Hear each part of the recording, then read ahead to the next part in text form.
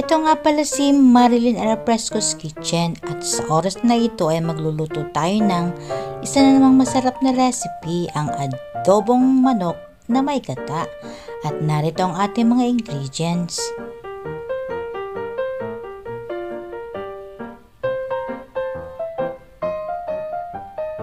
At syempre hinugasan natin ng manok at atin itong ipapry ng bahagya o atin itong isasangkot sa muna.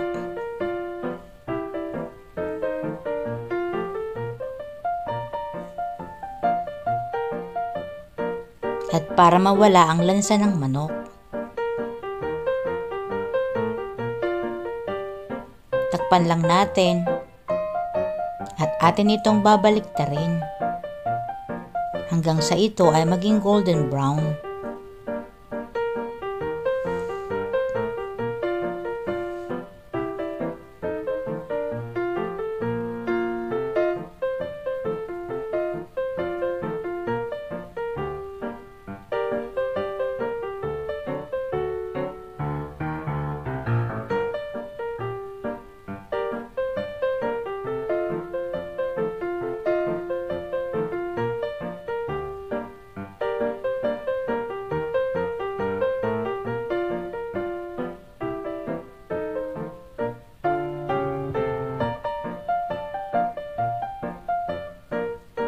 At pag inaakala natin itong golden brown na, atin namang isusute ang ating mga ricado o ang ating mga ingredients.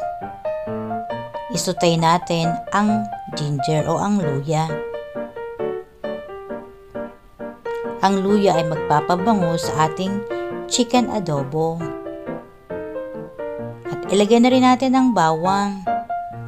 At saka ilagay na rin natin ang sibuyas. Isutay lang natin hanggang lumabas ang aroma nito.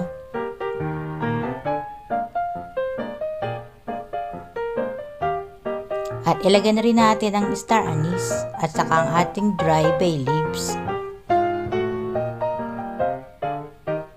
I-fry lang natin at maya maya ay takpan natin ng kaunting oras.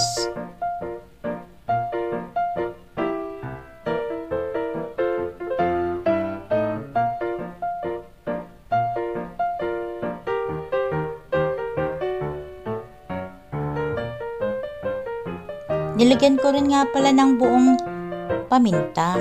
Magpapabango din ito sa ating chicken adobo.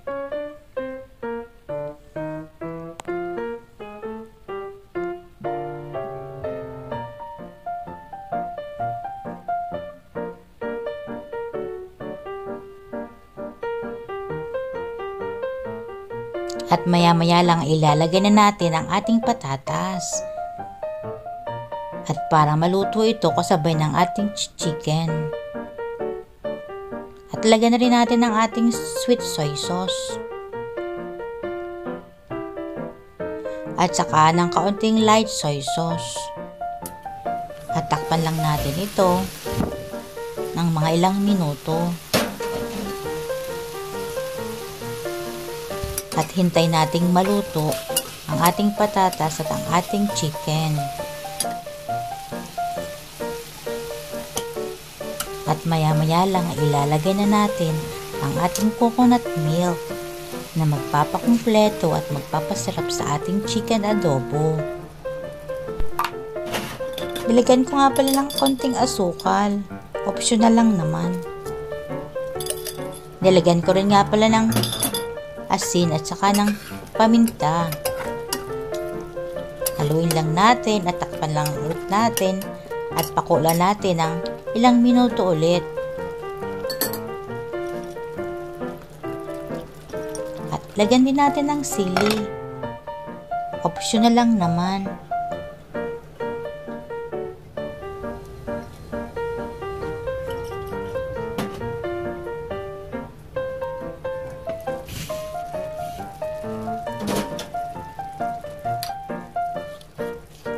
Ayan, at maluluto na nga ang ating chicken adobo na may gata. At syempre, At dahil nga tinawag nating chicken adobo, lalagyan natin ng suka o ng vinegar. Lagyan ko ulit ng asin.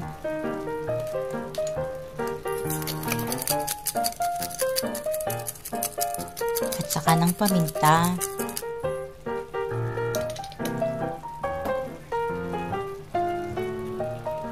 At maya-maya lang ay ready na ang ating chicken adobo na may gata.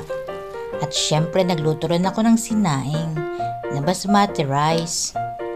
At ready na ang ating pananghalian. Sana naman ay nagustuhan ninyo ang ating recipe for today.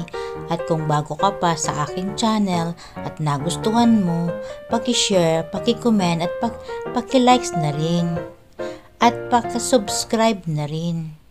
Salamat sa panonood. Happy eating, happy cooking. Bye now.